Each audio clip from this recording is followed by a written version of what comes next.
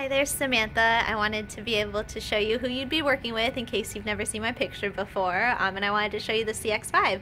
I have the Grand Touring right behind me. This is in the Crystal White Pearl with a black leather interior, front wheel drive. So I'll do a little video walk around for you and then all the other details are below. So I hope you enjoy. The CX-5 Grand Touring comes with the 19-inch alloy wheels with, with the white exterior. It really makes it pop. It's a really nice contrast. The keyless entry system is also in place here, so you just press this little button and you can get in and out, so the key can always be kept in a pocket or a purse. You do have the leather upgrade on the Grand Touring, and then you get all the fun stuff, the moonroof, um, the Bose sound system, you have the touchscreen in all of the vehicles with push to start, but you have a dual climate control and heated seats.